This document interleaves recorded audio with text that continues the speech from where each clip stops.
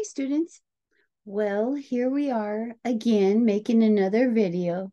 And this video is for the EDUC 2400 students and anyone else who might be interested. Um, we are focusing on school, society, and social differences.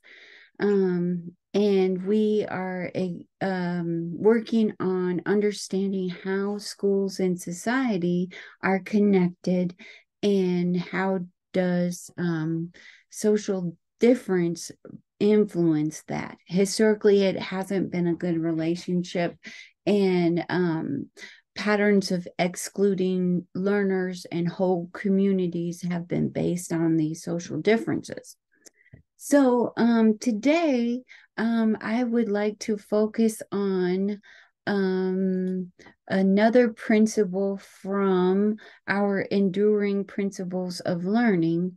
So let me just share my screen with you for a moment. Um, okay.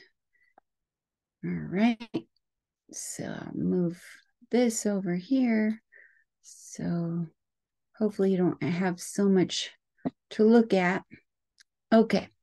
So um we talked about uh, principle eight being student directed activity, that students have to have choices in um, their learning. We want them to be independent learners. And by giving them opportunities to make choices and um, be self directed, that um, helps foster increased learning and positive experiences in the classroom. And really, they're much more invested in the classroom too. So today, um, I want to focus on principle six. Okay. Principle six critical stance. Now, this is the one that um, Dr. Muhammad calls criticality, and Dr. Ladson Billings calls um, sociopolitical awareness. And sociopolitical awareness is kind of a mouthful and it's kind of hard to wrap your head around it. So I I really prefer um, Dr. Muhammad's uh, term criticality um, because it's deeper than critical thinking. Um, critical thinking is part of it, but it's not enough. And this is often the one that teachers struggle with the most um, because this is the one that um, really makes a difference in difference. Um, do you remember how we talked about how Ladson Billings talked about you had to have high levels of academic achievement, high levels of cultural competence from teacher and student? They both have to be able to walk in two and more worlds um, they can be Latinx and successful in school. They don't have to leave their identity and their personal and community gifts at the door of the classroom, like the Butterflies girl. Um, she did, and Matthew had to until Mr. Frank figured out how to be a dream keeper. So, um, this last one is Ladson Billings' um, sociopolitical awareness or Dr. Muhammad's uh, criticality. And it just means that you're looking at issues of inequity. Okay. And the hard part for most teachers is that they were not taught in this way. So teaching is often a lot like parenting. We parent like our parents parented us, often if we're not very intentional about that and we just reproduce it. Um, teaching is the same, where um, you've spent a lot of time in the student's desk and observing what teachers do. And so oftentimes we just teach the way that we were taught. And that doesn't work for everybody. And our leaking educational pipeline shows that it has never worked for everyone. But if we really believe that all learners should have quality um, education, they should have access to excellent learning opportunities and experiences and outcomes, then that means that we have to interrupt that educational pipeline, which has been leaking since its beginning. So, how do we handle this um, uh, principle six critical stance? Okay, it says teaching to transform inequities, empower students to transform society's inequities through democracy and civic engagement. Okay, so enacting level, the teacher consciously engages learners in interrogating conventional wisdom and practices, reflecting on ramifications and seeking actively to transform inequities within their scope of influence in the classroom and community. Now, that sounds like a lot, I know. And sometimes it seems like, well, look, I just want to be a history teacher. Um, that's not for me. But if you think about it, um, well, history, uh, whole groups of people's history have been left out. And that's why we have to have Women's History Month in March. We have um, celebrating Latinx heritage um, from September 15th till October 15th. November is Native American Heritage um, Celebration. So we have all of these different celebrations because they were left out, right? So how does that make communities feel if their whole uh, background was left out as if they never did anything to contribute to the United States and to our world and society? Um, and it's just simply not true, right? So we don't want to be teaching falsehoods.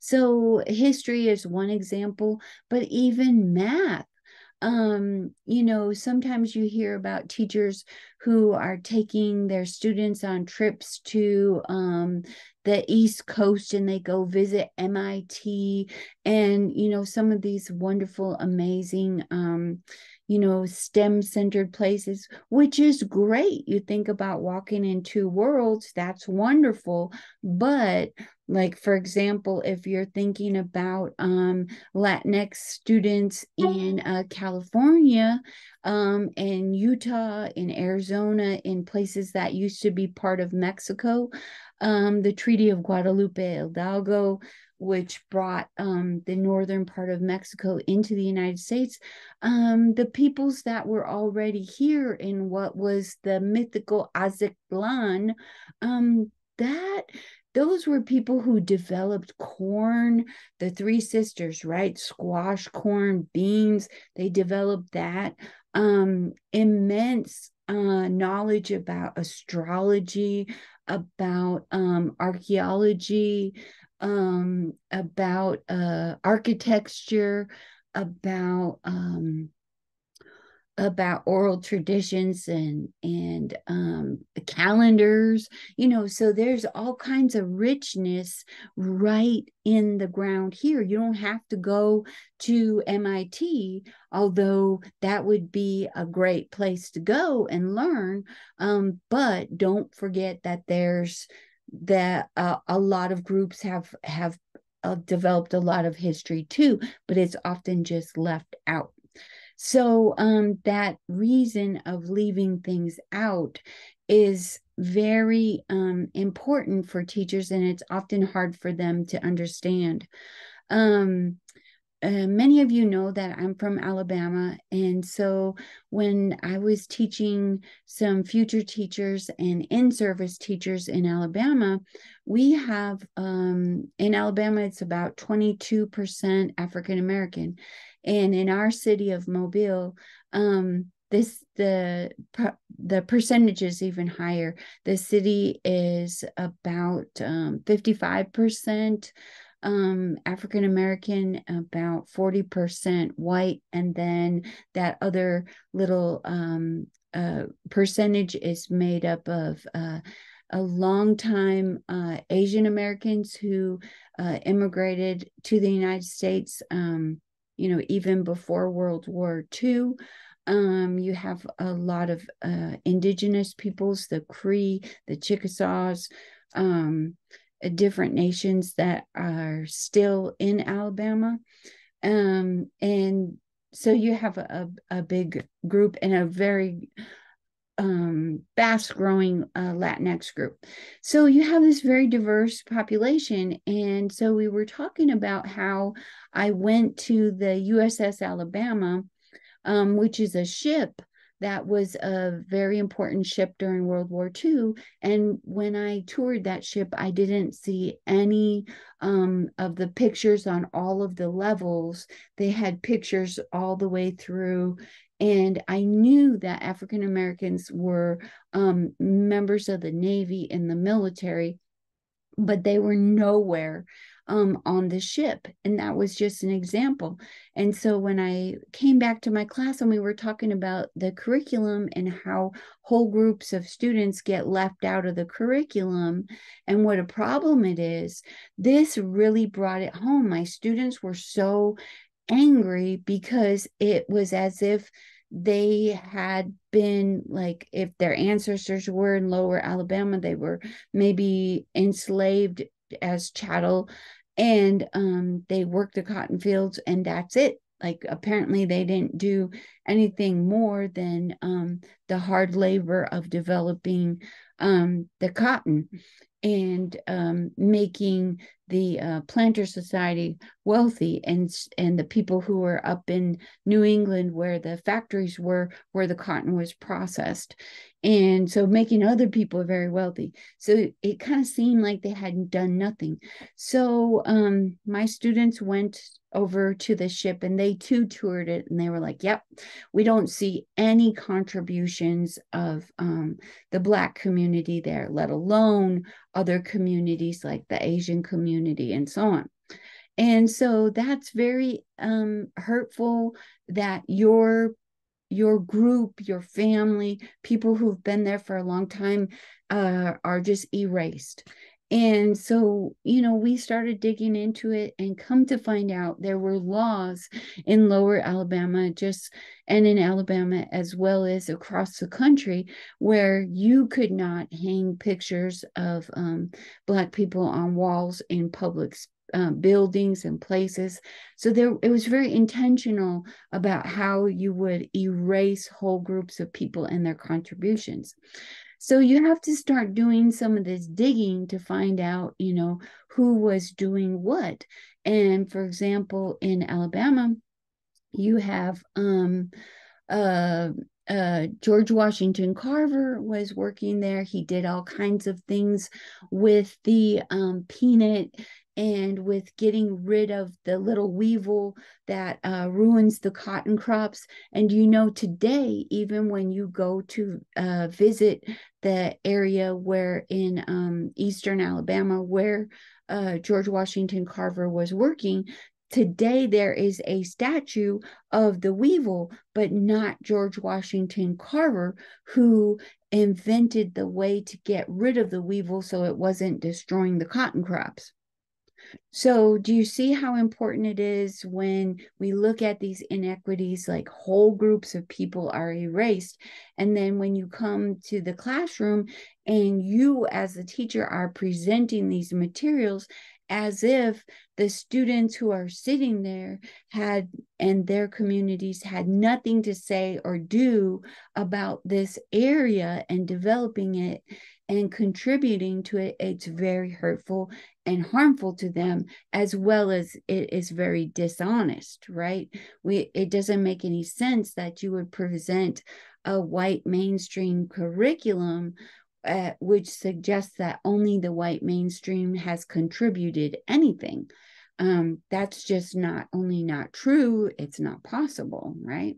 So, actually, many groups have. And so, criticality is kind of looking at that and saying, you know, what is it that we are missing in this story and why is it there? Okay, so I think I've shared with you the story of my kindergartners when we went to go to the dentist's office to visit our community helpers. And my little um, six year old kindergartner, uh, little Kristen, she asked why the helpers were girls and the dentists were boys. And so she offered a very um, important lesson in criticality. Her question raised that.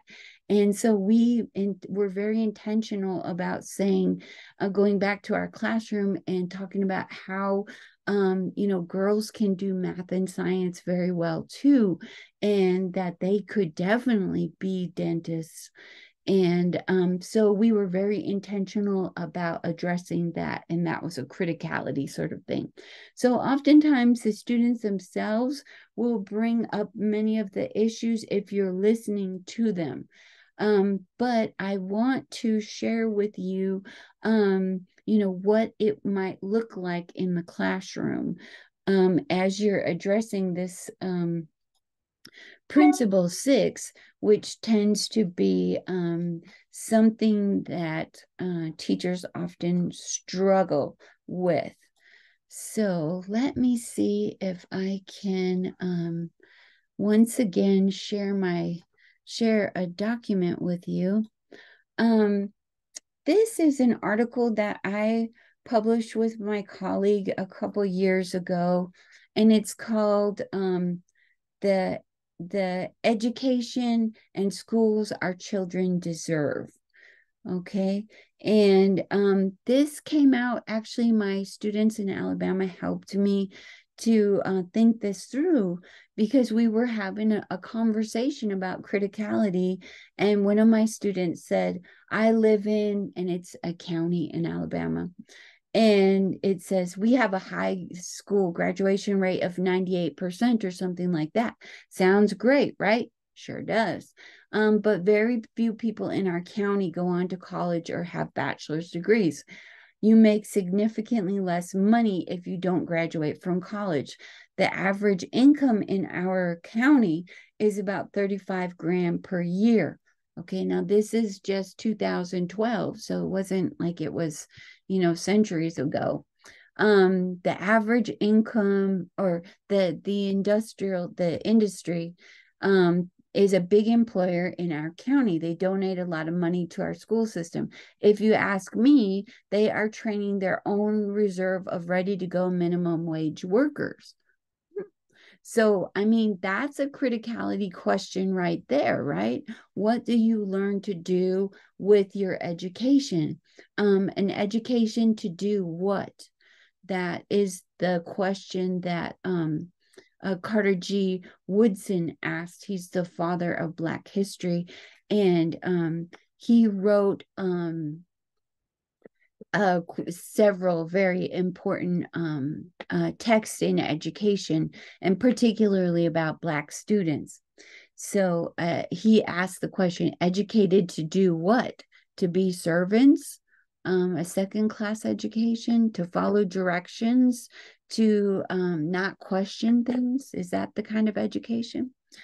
Okay, so um, what, uh, in this article here, um, what uh, there's a piece that I want to share with you that is, I think, one of the best definitions of um, what our education is trying to do and what makes the difference between an exemplary teacher and a good teacher. A good mm-hmm. teacher is not someone who is exemplary. Exemplary means that these are the teachers who are successful with the students that other teachers continue to fail with. Okay, those really tough kids. Um, so, and this is Carter G. Woodson. He said, Real education means to inspire people to live more abundantly, to learn to begin with life as they find it right? We aren't born into this um, very democratic, equitable um, world, and nor are our classrooms that way, right? Um, so we uh, learn to begin with life as they find it and make it better. Okay, I love that definition of education. Real education means to inspire people to live more abundantly. That means like use your talents, use your skills, develop your skills. You're not just um like one of the um one of the impulses of education of US public schools is to send you to work in the economy. Well, yes, you know, we all need to be able to um be able to participate in the economy so that we can meet our needs of food, shelter, you know, and so on. but we're not just workers in the economy, right? We're human beings who have families, we have talents, gifts. It's not simply about making money, although making money is important. It's not um, just making money. Does that make sense? So to live more abundantly doesn't mean that we just go to our job and then come home and then rest and go back to job. To live abundantly would be to use and develop your talents share them with others share your gifts with others and look around you and make the world a better place around you. Okay? So to do that you have to learn to begin with life as you find it it's not a perfect life. We're born into it. Our schools, our communities, our homes, none of it's perfect, right? Um, as hard as we work to um, do our best at everything, we're human beings and we fall short regularly, right? So we have to learn to begin with life as we find it. How is it? But does it have to stay that way? Are there things that we could do to make our classroom so that every learner is um, uh, is um, excelling and and growing and developing in a positive way? That their skills and talents are being developed. So how can we do that? So I love that um, definition of an education and that's really what um that is what criticality is about. Like it's about starting with life as you find it. And then what can we do about it? So my students when i taught elementary school we um, had a park that was about two blocks down the street from our elementary school and there were often um, broken beer bottles, um, wine bottles, um, and even sometimes needles that were just in the grass. And it was very dangerous for us to use that park, but it was a public place. And so, my students, that was how we found the park. And that's not the way the parks were on the other side of the city. So we asked questions about like why is our park that way? And um, so we used our literacy, um, our language arts, and we wrote letters. And um, uh, we eventually got our um, our mayor to come and visit our school and our uh, neighborhood um, uh, organization and they started to um, you know uh, work together to have efforts to collaboratively clean up our park. The police came and talked to our school and um, they suggested what they could do. So we took the world as we found it and we used our math skills our social studies skills, our history skills, our language arts skills to make the world a better place for our neighborhood. Does that make sense? So that was really about um, bringing academics and criticality together. Um, so that is one example that I wanted to share with you. Um, as you remember, um, uh, Dr. Muhammad, she says criticality is helping students to read and think and write in active ways as opposed to passive. So, as students, we often, as teachers, we groom you to be passive. Don't talk unless I unless you raise your hand and I call on you and give you a permission to talk. Don't go use the restroom unless I give you permission to go out of the room, you know, things like that. Now, I'm not advocating that kids can just talk or run out of the room or whatever, but there it isn't an either or. You can have structures in place where students are able to monitor their own emotions and monitor their own behavior and say, is this contributing to the kind of classroom where we can all be developing our skills and our knowledge and so that it sounds like feels like um, looks like a classroom where we are struggling to learn to to use our learning to struggle to make the world a better place. Does that make sense? So um, that's where we want these independent, active learners, and criticality is about that, about being um, active, not passive. Okay, we don't want them to be passive consumers of knowledge. Be skeptical ask questions. I don't mind um, even my adult students like ask questions. It's okay to ask questions okay and look at um, what are those inequities remember when i said that it was about more than just um, uh, critical thinking yes, critical thinking is important and it's part of it. And it doesn't mean negative thinking. It looks at things like who is included, who isn't, um, why is it like that? You know, if I live in an all white neighborhood, um, why is it all white? You know, is it that um, there are uh, policies in place where that's discouraging um, families of color from moving into this neighborhood?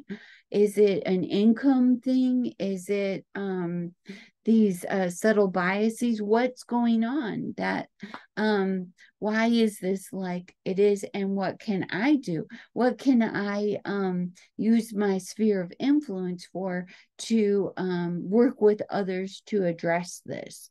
Usually, you can't do things on your own, but oftentimes if you work with others and talk about it um, they often will have good ideas too and you can work together okay? So it's about um, looking at that at those um, inequities. Okay so um okay. Now what i want to do is give you some examples of what that looks like in the classroom. And this is a little um, a, a educator brief that I put together based on my research on exemplary uh, Black teachers. And you have exemplary teachers in all groups. I just was living in the deep south. And so I had a lot of exemplary teachers who happen to be Black. But you have exemplary teachers who are white, exemplary teachers who are Latinx, exemplary teachers who are Indigenous. Um, so these just happen to be um, Black because that's what my research was. So um the the teaching and learning that they developed was called African American Pedagogical Excellence. Okay. And so basically that is dream keeping. Okay. So here is one of the um, teachers that I was honored to be able to get to know and to study her teaching and her name is um, Mrs. Charlie Ann Brown Hayes, and um, we just call her Mama. Okay, and um, so she's talking about how she interacts with her students, and this is how she approaches criticality. That principle six. Um, she says a committed teacher will help students to learn the importance of education. So, education is the key, and um, it will unlock a lot of things. So, she pushes that. Um, force them to think critically. That's hard to do. So, she guides them to it and models it and encourages that, and it becomes a habit. So she says that's not easy because the path of least resistance is just simply um, to be passive and just because my teacher said so. Um, it that's the path of least resistance, but that's not going to foster practicing being an independent learner. So she says, I share with students my situation about my children.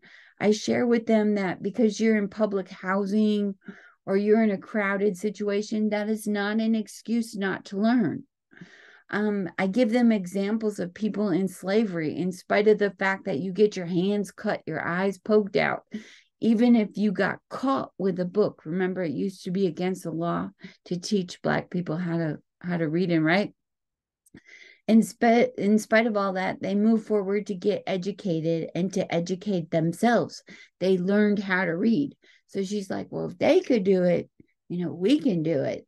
And they had it, you know, under a lot of duress, where it's like if you get caught learning how to read, right? Think about what happened to um, Frederick Douglass, right? It, it was a big no no to teach um, uh, enslaved people how to read and write. Um, so I let them know that the media is trying to convince them that they're stupid and that they can't learn. And I say that's not the case. Um, the students know I'm pushing them. I tell them education is your key. If you don't like what you're in now, get a good education. I constantly talk to the students. I tell them, you're smart. You haven't let it out yet this is my favorite part. She says, You're like a cake. Um, if you take each ingredient separate and let it stand alone, it's not a whole lot, not fantastic until you put it together. Isn't that beautiful? You're like a cake. I feel like my students are like cakes too. They're sweet and they have all these different ingredients that come together and then they produce something beautiful. So you're like cakes too. Um, so I tell them, you've been told by the media that that when they show a crime that's been committed, they show black blacks to make you think you're a criminal, you're dishonest, you can't learn. But that's not true. Um, so there's no sense in you playing that. So she doesn't allow for excuses. She's like, I know that these things are out here, but you have gifts and your job is to develop them no matter what the hard things are. You she acknowledges the hard things that's the criticality of it but she pushes them and she supports them encourages them and she believes in them. Okay so here you see um uh here's um how she approaches all of that um so here's another teacher who's talking about his teacher, Miss Mack. And Miss Mack was definitely about principle six, that criticality. He says, When I was in the 10th grade, Miss Mack was a driving force. I didn't apply myself. So he'd already kind of learned that if you just be passive, nobody has expectations of black students or minoritized students so he kind of had internalized that and believed it I didn't apply myself because there was no one to pull me out. She was like a dentist, just extracting a tooth. She could pull it out. Sometimes it was painful, but yet she could still pull it out. She was honest. She was fair. So she's really a dream keeper. Coming from where I came from, you know, I had been dealt a lot of unfair teachers. So he's coming from the rural areas. He's black, he's working class. So most people had low expectations for him, but not Miss Mack. Um, so he's used to unfair teachers. Remember that educational pipeline is leaking, and it's like, who did it? You know, teachers play a role in that. Teachers are dangerous because they can be dream wreckers or dream keepers. So he says, I thought they were all like that because he's in high school. But then I saw her and I began to make honor roll and good grades. She could have looked at me as a poor country boy, but she understood. So she's like, I see you come from the country. I see that you're poor and that people have low expectations of you, but education is your key. And this is the bar, and you're going to rise to it. So they're very demanding, but warm. Okay. That's that criticality. She sees the inequities and she doesn't use that as an excuse not to teach. She uses that to drive her teaching. You're going to succeed, and I'm going to help you do that. Okay, so um, this is Big Mama. Um, and I was also very honored to get to know Big Mama. She taught for 50 years um, before she left teaching, and um, I was able to meet her before she passed away. Uh, so Big Mama says the lessons I tried to stress to my students were that other people in our community had made it, which meant that they could make it. So she's African American and she dealt with lots and lots of inequities. Um, and uh so she was born and raised before desegregation in the 70s. So she was already a teacher before desegregation happened in the 70s and the 50s. Um, so I'm talking about the Brown decision in 1954. Um, uh, she was already working as a as a teacher, even though Brown was passed in 1954 it didn't actually start to get implemented in the South until the 60s and the 70s. The 70s was really where they started to make it happen.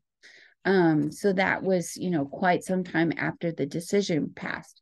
So she's talking about um, her own experiences and then um, uh, her students, and she knows that they're facing discrimination.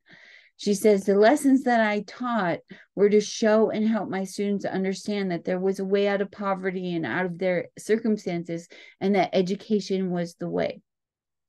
As Black teachers, most of us were really demanding. We didn't just specifically say it per se, but back then you knew that they, all of the Black teachers, knew this was the way out of here, these uh, oppressive conditions that education is the key and it's still the key right you have to be know how to be very intentional about what's happening in your world and how you can make a path forward so it's still the key um, it was not okay for my students to come into my classroom without their lessons. I understood that they may have picked cotton all evening the night before but they still had to get it. And if they did not, there was some sort of punishment. So she's saying, Look, I know you have to do these hard things. I know maybe you didn't have electricity last night. Um, maybe you didn't have um, dinner last night. Maybe you were in the cotton field or you had a babysit or you had to go to work. But you still have to find a way. You have to make a way out of no way. You have to bring your homework, make it happen. It's a priority. And so she's acknowledging the inequities that they're facing, but she doesn't use it as an excuse to be like, ah, oh, bless their hearts. You know, they had to work a long night at McDonald's. And so I won't worry about if their homework's there or not she's just making a way out of no way and she's like i'm i'm i care about you and i want you to have a good future and so i'm demanding and the the standard is here and i need you to rise to that and i'm going to help you but that's my expectation that you're going to rise to that. So do you see how that's criticality? Where they're addressing that. Um, so you can see here on this chart, we're comparing um, Miss uh, Mack and Big Mama. Okay, now here is, um, these are some uh, Black teachers here that um, were teaching before desegregation and then after desegregation. And um, so this teacher here, he says, um, that sometimes it was dealing with the uh, criticality wasn't just in his teaching, but also just happened to be in the building. And so he said, um, okay, oftentimes I have to go into the classroom to do damage control. We have these white female teachers, which we know um, that would be me, right? Um, we know that most of our teaching force in the United States, like over 85% of our teaching force is white women who are primary English speakers who only speak English. They're monolingual Anglophones. And so they often don't have a lot of experience with um, social differences. So this is what he was dealing with too. And he says, um, we have these white female teachers who are af- afraid of brothers. So she's talking about, um, or he's talking about black male students that they're that these white women teachers are afraid of black male students. And they look for an excuse to kick these brothers out of class. Now don't get me wrong these brothers are hard. Um, a lot of them are coming up from detroit and chicago to live with their grandparents. This was in um, mississippi and alabama. I had this one guy who had come down to the south from Detroit and he was hard and he was angry.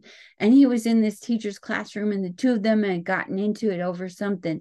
And this guy was not even my student. I happened to be in the hallway when she kicked him out of class. And um now if he got sent to the office he was going to be suspended and kicked out of school which would have made him only that much angrier so, you know, it's kind of a self fulfilling prophecy. It was expected for this brother to get kicked out of school. And um, so I grabbed him and I said, Let's go for a walk. Let's grab a Coca Cola and talk. And this gave him a chance to cool down and hopefully resolve the situation.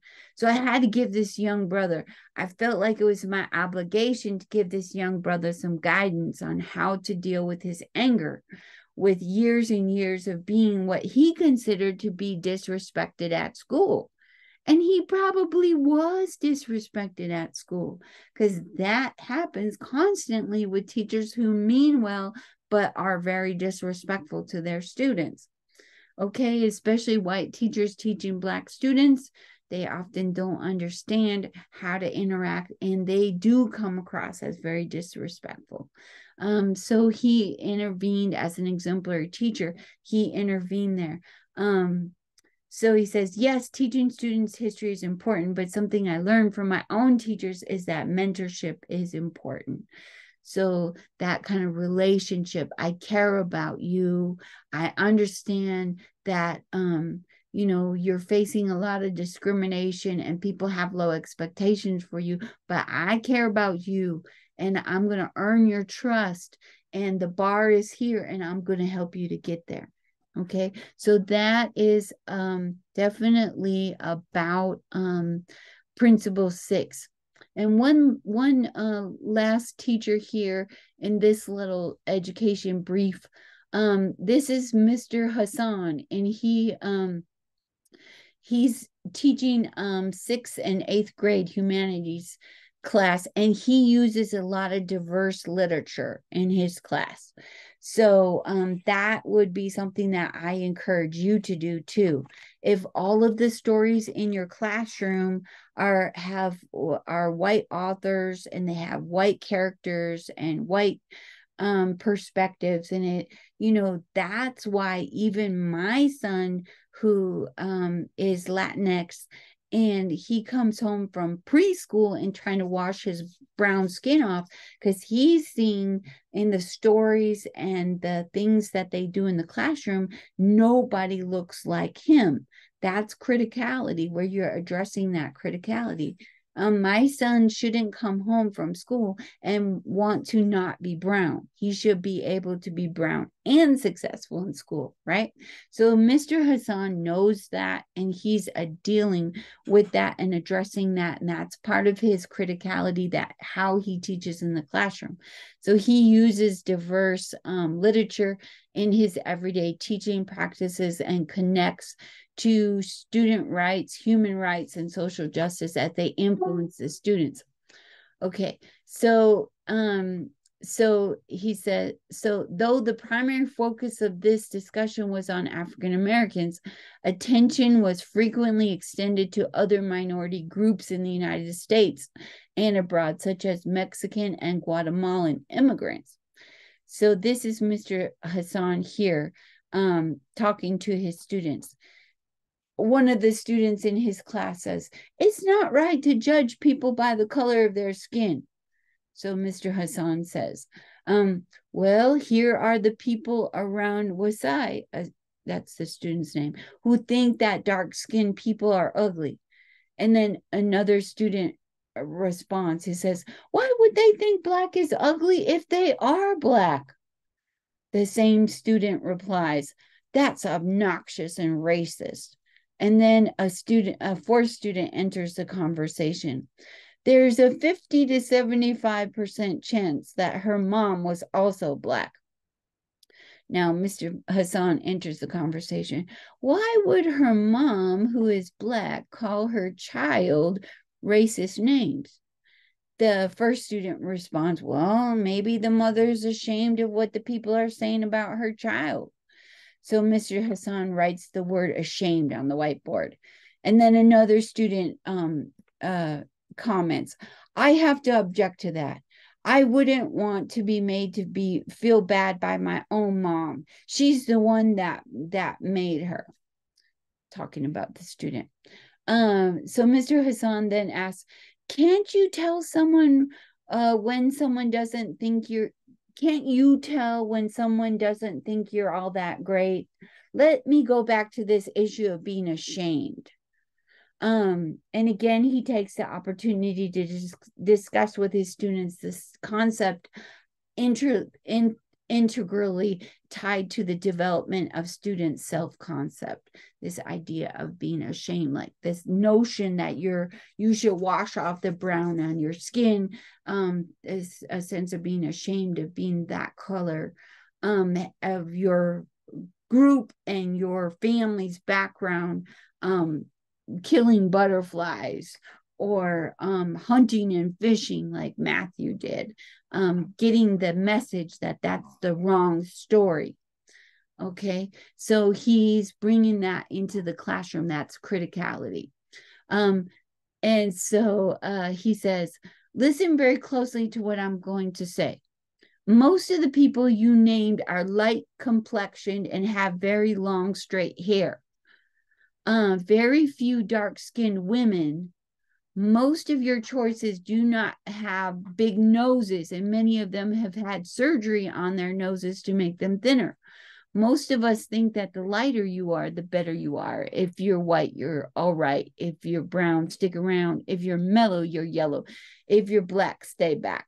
So that was kind of historically the idea. We should not think that way. And so they discussed that in the classroom. So that is an example of um, criticality um, from Mr. Hassan's um, classroom. Okay, one last um, example that I'd like to share with you, since this is such a um, often a challenging, um, a challenging principle for for teachers. Um, this is a uh, lesson plan. This is what one teacher used. Um, this poem, Where I'm From. And you can kind of uh, see here um, how this teacher is using criticality. Okay, let me see if I can open that up for you. Okay, now this was written by a high school student. And the, okay, let me just put this back here.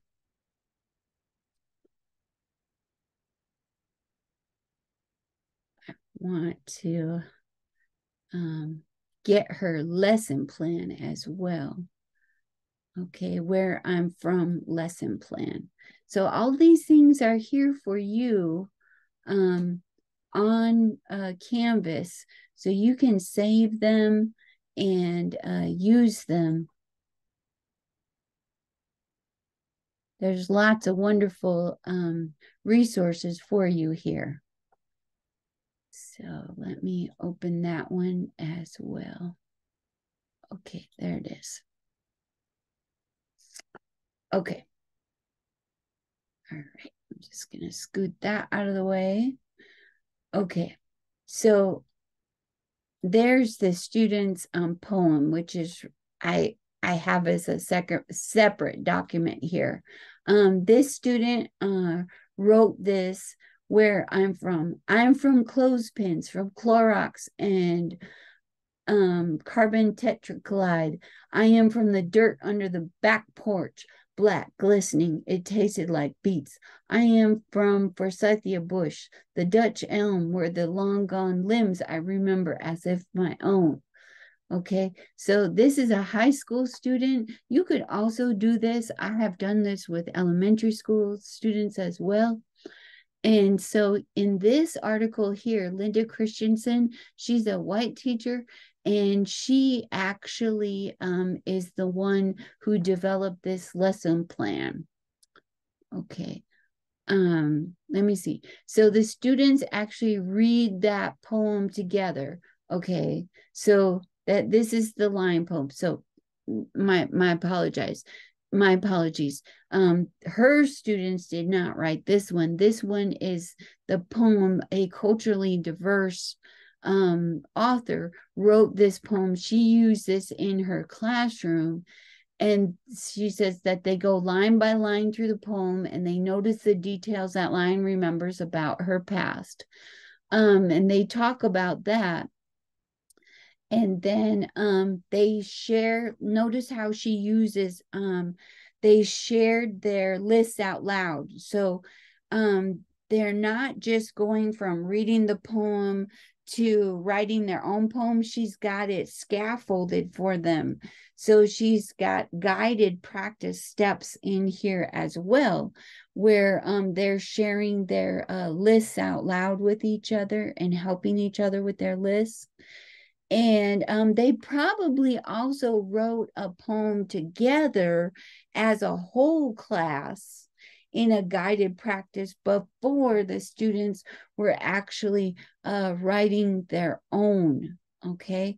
And so here's her students' um, poems.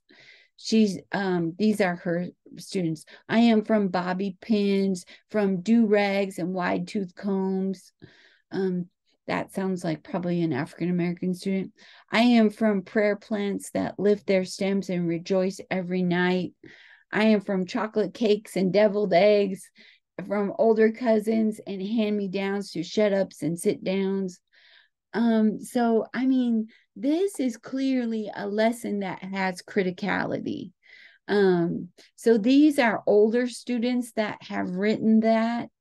Um, but as I, I mentioned, uh, even younger students can can do this as well. Um, I've had very good luck um, with younger students as well doing this. Um, I I would love to share you with you uh, one of mm, um, my younger students. These were uh, third grade students and um, this ended up being so, so uh, fun and um, such a great uh, learning experience. Um, so, my students were doing these um, Honey, I Love poems. And so we kind of did that same thing of um, uh, where I'm from and um, so there's a, a book by a black um, a writer, and uh, she wrote the book Honey I Love. And so we listened to the book Honey I Love and we read it together.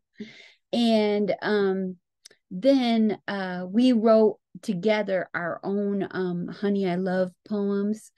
And so these are just some of them that they wrote um honey i love by cc brown. I love i love a lot of things a whole lot of things. I love when my sister takes me to the mall. Honey let me tell you i love when i get a lot of things. I also love crawfish but honey let me tell you what i don't love when i smell crawfish. Okay um so these were just precious. Um this this one by Rashad. He says, I love to eat a lot of food. I love to eat red velvet cake. I love to eat chips. I love to eat pizza. I love to eat out at O'Charlie's restaurant. I love to eat catfish. I love to eat crawfish. I love to eat crabs. I just just like snow crabs, but I don't like bugs messing with me.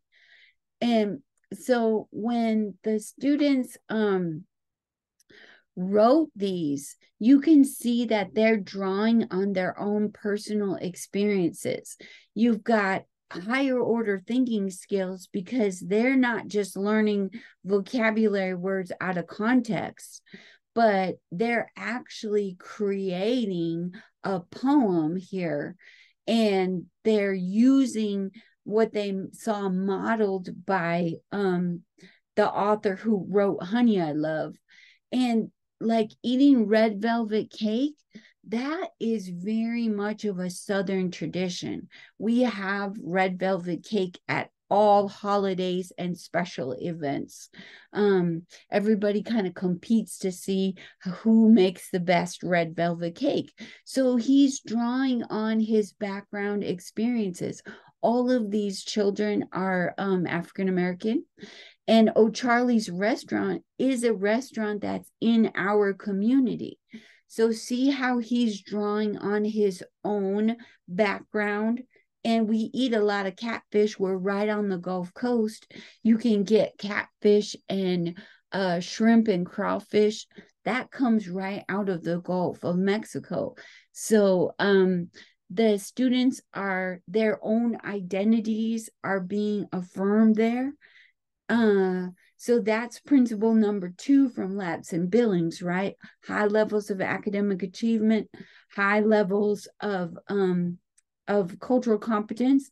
And this is definitely about criticality because um, we're looking at um, how their experiences are often um, left out of the curriculum. And Honey, I Love is a wonderful story um, that the students read, or we read that book, and you can see that um, here uh example of of honey i love. Um this these students that wrote these honey i love poems they uh performed them uh for the community and everybody that was in the audience uh they thought that i wrote those poems for the students they were shocked that um that uh, the students actually wrote them themselves. So here's this is Rashad right here, and this is Cece, and this is Kaylee. And so um, they actually perform that. And you can see Cece is reading her poem here. So do you see how all the principles are coming together here? Um, here uh the the book honey i love by eloise greenfield you can click that link right there well um kaylee was down in alabama for the summer because um her family lives like many families part of the family is in the north and then they have roots of their family in the south. And so she had come to spend the summer with um, her grandparents. And so i use that as that's a, a cultural pattern that's historically had a lot of reasons for that where um you know parents were working in the north and then they sent their children down to stay with grandparents. And that's a, a tradition that has happened over the generations for a very long time.